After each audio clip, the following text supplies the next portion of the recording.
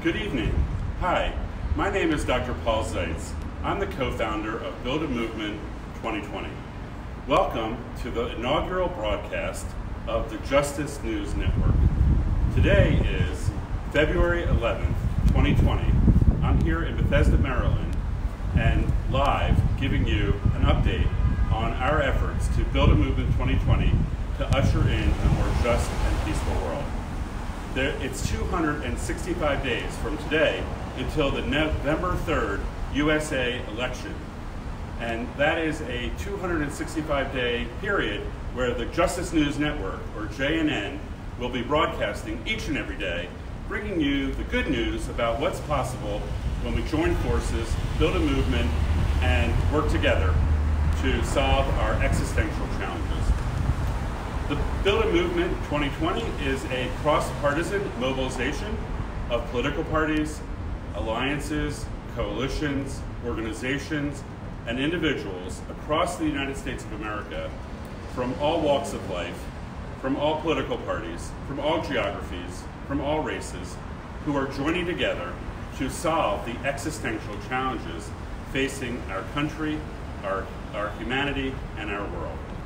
Our foundational commitment is that we are committed to ensuring the survival and flourishing of all of humanity and our natural world for ourselves and for all future generations.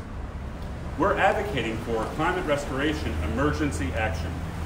You may not have heard about the climate emergency yet, but you certainly have been noticing changing weather patterns, superstorms, floods, droughts, wildfires affecting everyone here in the USA and affecting everyone around the world.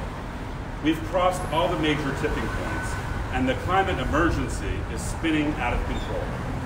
Leading climate scientists have informed me and others that we are at risk for a, an imminent human extinction event in the next two to 15 years due to an abrupt release of methane from the Arctic Circle if left unaddressed.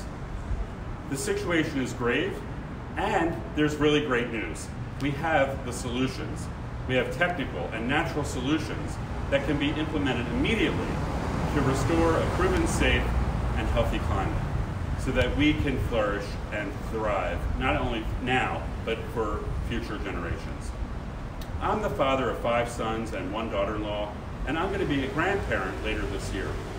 And as a scientist and a doctor and a father and a soon-to-be grandfather, I feel like it's my responsibility to do everything I can to restore a safe and healthy climate for those of us living here on Earth today, but also for our future generations. Today has been a really busy day. We're also working on other priorities that are required in order to solve these challenges. One of the most pressing matters is the opportunity that we have to heal America the partisan fracture, the partisan bickering, the tiresome rant that goes on between the two existing political parties is turning everyone into despair and hopelessness. I certainly have experienced that myself. On the other hand, those of us who are joining with Build a Movement 2020 are participating in an optimistic opportunity to heal America.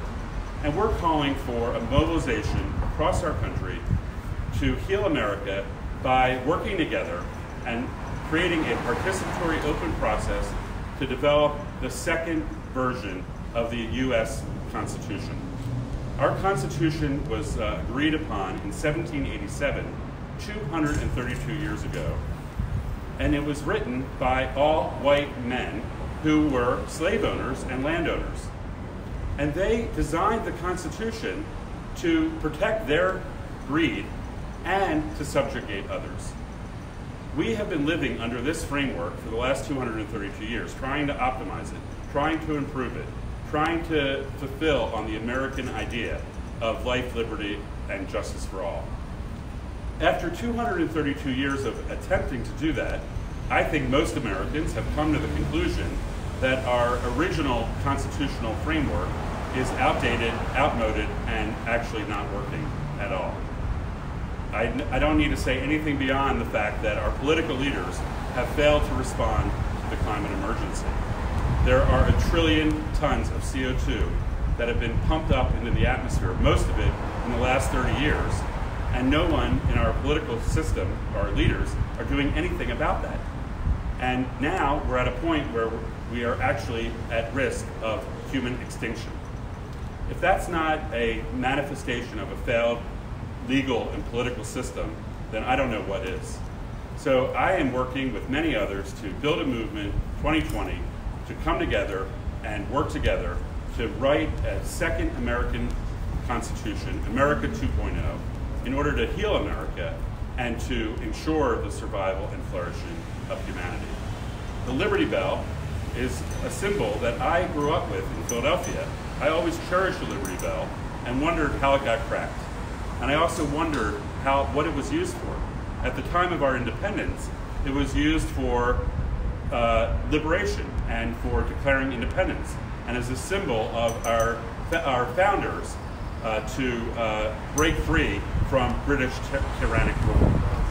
Then again, in the 1800s, the Liberty Bell was revitalized as a symbol of the abolition movement. And throughout the 1800s and mostly in the 1850s and 60s, the Liberty Bell was resurrected as a symbol of liberty and justice for those that had been enslaved by the white uh, slave owners.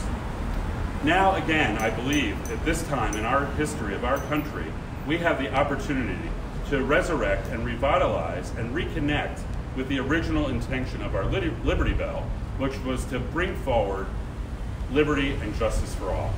We're at a moment where we're called upon by our ancestors, by future generations, to step forward with courage and valor and to recreate the American idea and bring forward an America 2.0 Constitution. So I hope you'll join with me and ring the Liberty Bell. We're creating a purple tsunami. I will be wearing purple for the next 265 days as a symbol of my commitment to work together with all Americans. We have no enemies. This is an all hands on deck opportunity to join forces to ensure the survival and flourishing of humanity. Thank you for your time tonight, and thank you for listening to the first inaugural show of the Justice News Network, JNN. We'll be having more opportunities for, to hear from all of you in the days and weeks ahead. But please stay tuned for tomorrow's episode of Justice News Network uh, on Wednesday, February 12th.